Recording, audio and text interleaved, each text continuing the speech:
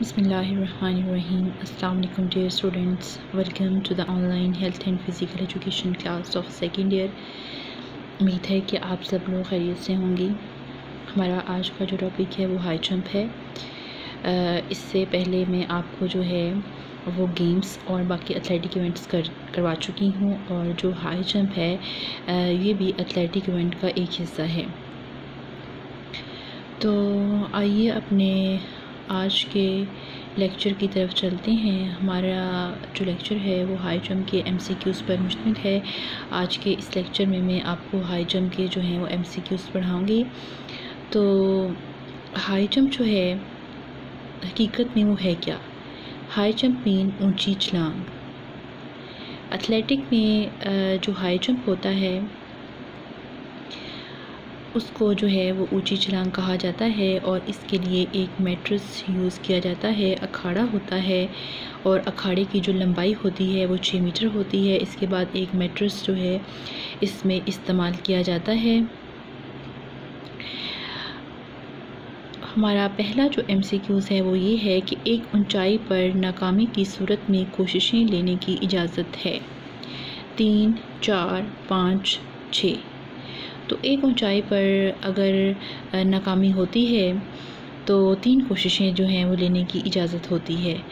ऊँची छलांग में अखाड़े की लंबाई होनी चाहिए, तीन मीटर, चार मीटर छः मीटर, आठ मीटर। ऊँची छलांग में अखाड़े की लंबाई जो है वो छः मीटर होनी चाहिए। ऊँची छलांग में अखाड़े की चौड़ाई जो है वो होती है तीन मीटर, चार मीटर छः मीटर या आठ मीटर।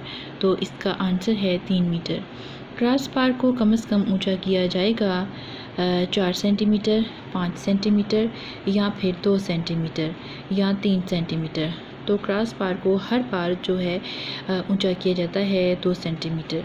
एक कोशिश के लिए कितना टाइम दिया जाता है? एक कोशिश के लिए एक मिनट, दो मिनट, तीन मिनट या चार मिनट। एक कोशिश के लिए जो है वो एक मिनट का वक़्त जो है वो दिया जाता है।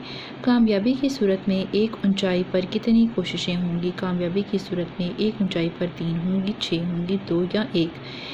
एक जो है वो कोशिश दी जाती है। दौड़ने के रास्ते की कम अज़ कम लंबाई होनी चाहिए पंद्रह मीटर, बीस मीटर, पच्चीस मीटर या तीस मीटर? इसका आंसर है पंद्रह मीटर।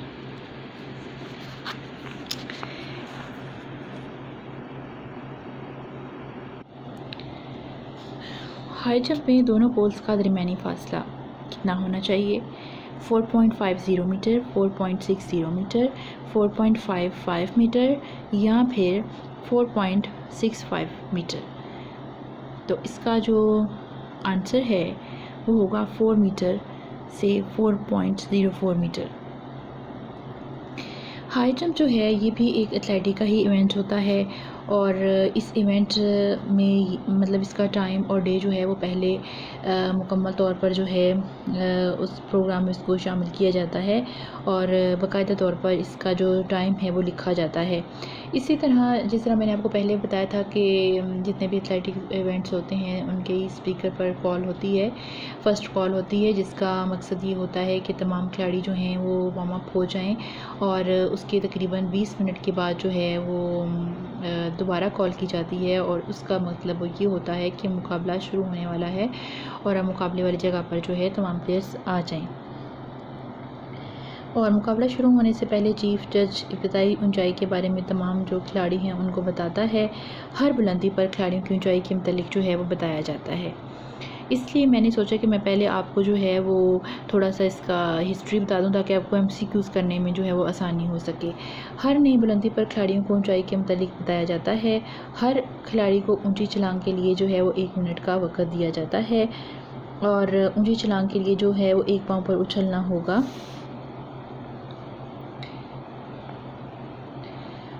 उसके बाद जब मुकाबला शुरू हो जाता है तो किसी खिलाड़ी को इजाज़त नहीं होती कि वो रनवे को प्रैक्टिस के लिए इस्तेमाल करे। जंप करते वक्त अगर जिसम क्रॉस बार को टच हो जाए तो वह नाकामी नहीं होती बल्कि जब क्रॉस बार नीचे गिर जाती है तो इस वक्त नाकामी होती है। जंप करते वक्त किसी खिलाड़ी के जिसम का कोई हिस्सा क्रॉस बार की लाइन से आगे ज़मीन या लैंडिंग एरिया को नहीं छूना चाहिए। अगर छूता है तो ये वाउल है। अगर जंप के दौरान खिलाड़ी के जिसम को, कोई भी हिस्सा, ठीक है? क्रॉस बार की जो आगे वाली लाइन होती है या लैंडिंग एरिया होता है, उसको छू जाए, लेकिन जज साहिबान की नज़र में हो तो इसकी खिलाफ वर्जी से वो खिलाड़ी कोई फ़ायदा नहीं उठा रहा तो ये नाकामी नहीं होगी।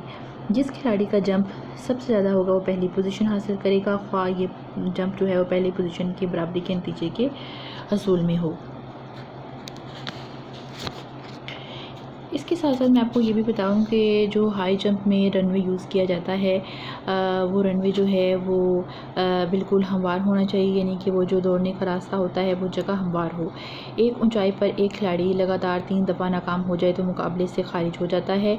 एक खिलाड़ी एक ऊंचाई को छोड़कर पास ऑन, यानी कि अगली ऊंचाई पर जंप लगा सकता है, जो ऊंचाई एक दफ़ा छोड़ दी जाती है, दोबारा इस ऊंचाई पर जंप नहीं लगाया जाता। मास्टर पहली पोजीशन की बराबरी की सूरत में। अगर कोई खिलाड़ी नया रिकॉर्ड बनाता है तो जज साहिबान के जो हैं वो क्रॉस बार की ऊंचाई को दोबारा चेक करते हैं। अगर बाकी तमाम खिलाड़ी नाकाम हो जाएँ तो जीतने वाला खिलाड़ी इस वक्त तक अपनी कोशिश को जारी रख सकता है, जब तक वो मज़ीद जंप लगाने के हक़ से महरूम ना हो जाए। या वो फिर ख़ुद जो है वो दस सरदार इससे ना हो जाए। अगर कोई खिलाड़ी मुकाबला जीतने के बाद भी अगली ऊंचाई पर जंप करना चाहता है तो वो जंप कर सकता है। और हर खिलाड़ी को जंप लगाने के लिए एक मिनट का वक़्त दिया जाता है। अभी मैंने आपको एम सी पढ़ाया, उसमें भी था। एक खिलाड़ी दौड़ने या उछलने की जगह पर जो है इंतजामिया का मुहैया करदा निशान रख सकता है, लेकिन ये निशान इंतजामिया ही मुहैया करेगी। वो अपनी तरफ़ से कोई निशान इस्तेमाल नहीं कर सकता। जज साहिबान के लिए लाजमी है कि वो मुकाबला शुरू करने से पहले क्रॉस बार के सामने वाले हिस्से पर कोई निशान लगा दें, ताकि हर दफ़ा क्रॉस बार गिरने की सूरत में इसे पहले वाली हालत के मुताबिक टेकों पर रखा जा सके। एक खिलाड़ी को क्रॉस बार पर रुमाल वगैरह रखने की इजाज़त नहीं है। एक खिलाड़ी को क्रॉस बार पर जो है वो किसी किस्म की कोई और चीज़, यानी कि शर्ट वगैरह, वो नहीं रख सकता। अगर कोई खिलाड़ी जंप के दौरान चेक ऑफ़ से पहले रुक जाता है तो वो इसकी कोशिश नहीं होगी, बल्कि वो कोशिश इसको दोबारा दी जाती है। एक खिलाड़ी अपने जूतों में कोई ऐसी चीज़ नहीं रख सकता जिससे इसको जंप में मदद मिल सके। अब मैं आपको जंप ऑफ़ के बारे में बता दूँ। इसके बारे में आगे एक शॉर्ट क्वेश्चन जो है, वो भी पूछा जाएगा ताकि आपको जो है वो पता हो कि जंप ऑफ़ से क्या मुराद है। जंप ऑफ़ से मुराद, वो जंप होता है ऊँची छलांग के मुकाबलों में जंप पहली पोजीशन के लिए दो खिलाड़ियों के दरमियान बराबरी आती है तो बराबरी को हल करने के लिए इनकी बराबरी से पीछे वाली जो कोशिश होती है उसको देखा जाता है। इस, जिस कोशिश की नाकामी, यानी कि जिस कोशिश में नाकामियाँ कम होंगी, इसको पहली पोजीशन दे देते हैं और अगर बराबरी फिर भी हल नहीं होती तो पीछे वाली तमाम जो नाकामियाँ होती हैं, उनको इकट्ठा किया जाता है। अगर ये तमाम जो कामियाँ नाकामियाँ हैं, एक जितनी हो तो फिर इनको एक एक जम जो है, वो और दे दिया जाता है। और जब तक पहली पोजीशन का फ़ैसला हो, नहीं हो जाता इनको जो है, वो जम देते रहेंगे।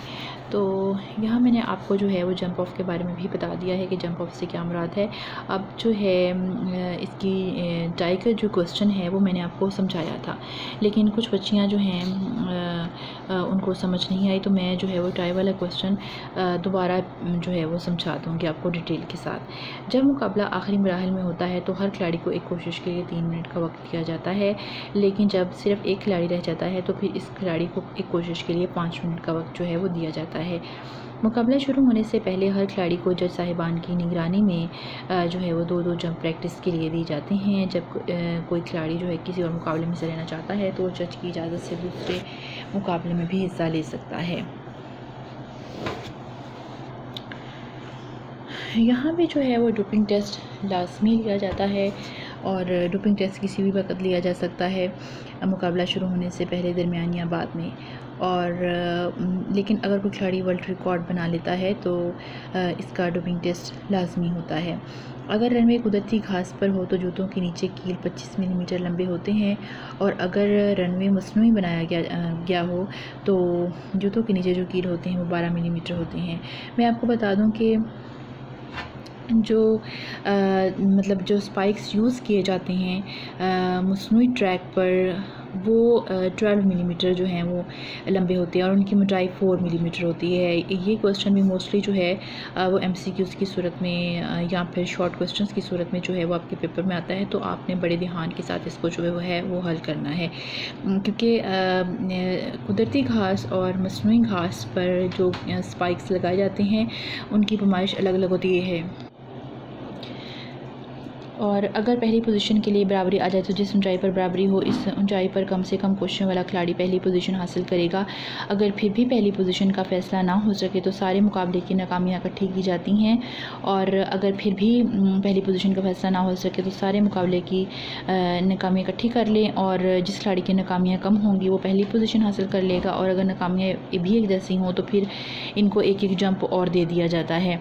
क्रॉस पार को बराबरी की सूरत में ऊपर या नीचे किया जाता है, जब तक फैसला नहीं हो जाता, इन खिलाड़ियों को एक एक जंप जो है वो देते रहते हैं।